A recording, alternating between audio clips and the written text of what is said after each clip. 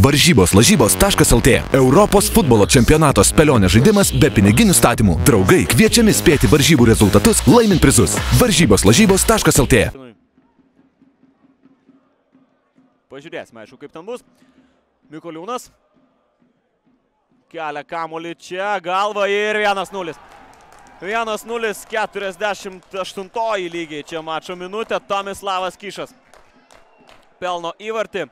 Ir Vilniaus Žalgiris išsiveržė į priekį. Čia varžovų stadione Lietaus. Stadione Mikoliūno puikus perdavimas. Kyšas galva per Arijų Bražinską. Tinėse pirmenybėse yra Hamuličius už praėjusiame A lygos turė dublį suleidęs į bangos vartus. Čia Josipas Tadičius vienas prieš vartus ir 2-0.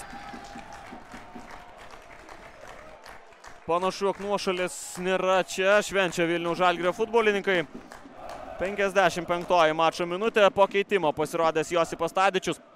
Puikaus perdamo čia sulaukė iš Jakobo Silvestros. Sunku iš šio kampo vertinti. Ir buvo nuošalė šiame sezone Vilnių Žalgirio gretose. Dabar Silvestras štai tokį perdavimą atlieka. Onazi. Ir čia 3-0 deda tašką. Turbūt Josipas Tadičius, jo dublis. Po keitimo aikštėje pasirodęs futbolininkas pakeitęs Hugovį Demoną.